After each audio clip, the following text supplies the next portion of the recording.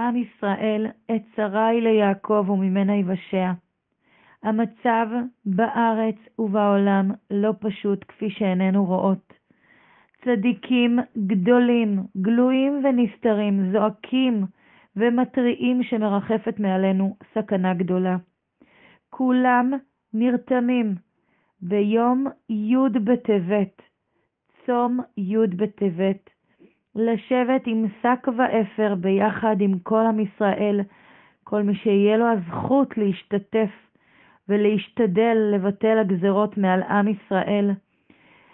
שק, למי שאין שק עזים, אפשר אפילו לקחת שקית גדולה, כמו שקית אשפה, ולעשות חורים ולשים עליכם.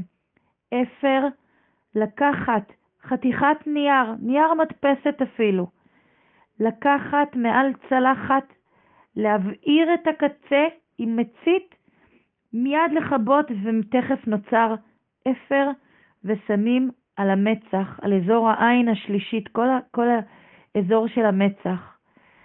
וכשיושבים עם השק ואפר ביום שישי באחת בצהריים, בזמן צום, תענית, עשרה בטבת, מבקשים ומתחננים לפני הקדוש ברוך הוא שיחזיר לנו שלושת הדברים שלהם אנו כה משתוקקים, מלכות בית דוד, מלכות, מלכות שמיים, התגלות מלכות שמיים, מלכות השם בעולם, ובניין בית המקדש.